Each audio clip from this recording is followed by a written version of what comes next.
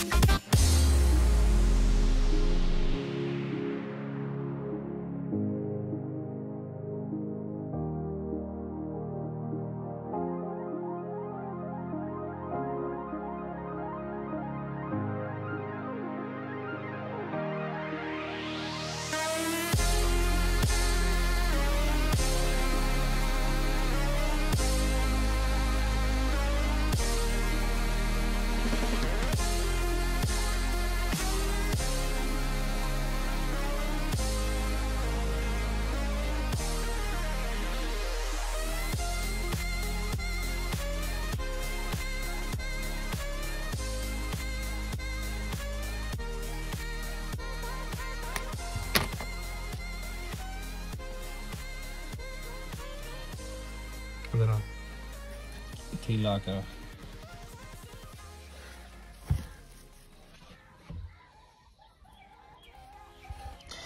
ये निशान इसलिए लगाए जा रहे हैं क्योंकि जब आप दो दिनों बाद जब अंडे की पोजीशन चेंज करने में इजी रहोगे, जब आपने पोजीशन चेंज करनी हो सिंपल इस मार्क को ना ऐसे नीचे कर दो, ठीक है? फिर दस दिनों दो दिनों बाद दोबारा ये मार्क ऊपर ले आओ, ताकि जो बच्चा है उसको दोनों तरफ़ से हीट मिलती रहे, ठीक है? तो अब हम देसी एग्स को साइड पे रखेंगे।